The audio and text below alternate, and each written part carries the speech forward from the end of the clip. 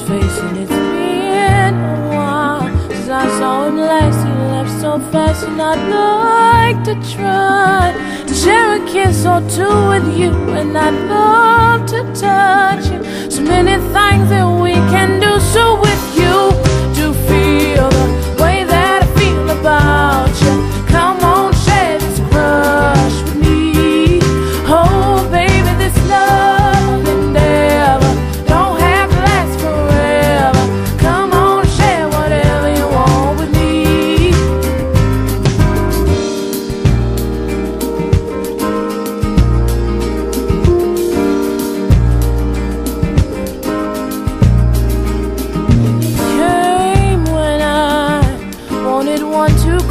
all mine into my eye. He's one of such a lovely kind I could spend my time trying to sort out your feelings, but it's not my style anymore. So tell me?